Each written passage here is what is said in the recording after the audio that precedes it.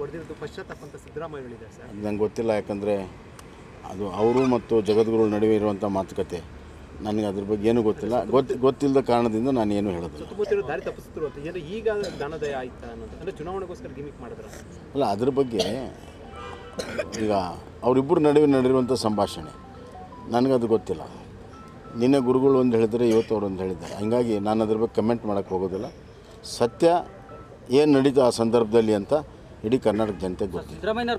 ದಕ್ಷ ಆಡಳಿತಗಾರ ಹಿಂದುಳಿದ ವರ್ಗದ ನೇತಾರ ರೈತ ಬಂಧು ಸನ್ಮಾನ್ಯ ಡಿ. ದೇವರಾಜ ಅರಸ್ ಅವರ ನೂರ ಏಳನೇ ಜನ್ಮ ದಿನಾಚರಣೆಯನ್ನು ಮಾಡ್ತಾಯಿದ್ದೀವಿ ಕರ್ನಾಟಕದ ಇತಿಹಾಸದಲ್ಲಿ ಸ್ವತಂತ್ರ ಪೂರ್ವ ಮತ್ತು ಸ್ವತಂತ್ರ ನಂತರ ತಮ್ಮದೇ ಆದಂಥ ಒಂದು ಸೇವೆಯನ್ನು ಮಾಡಿ ಜನಮನದಲ್ಲಿ ಸ್ಥಾನವನ್ನು ಶಾಶ್ವತವಾಗಿ ಗಳಿಸಿರುವಂಥ ನಾಯಕರಲ್ಲಿ ದೇವರಾಜ ಅರಸ್ ಅವರು ಅಪ್ರಥಮರು.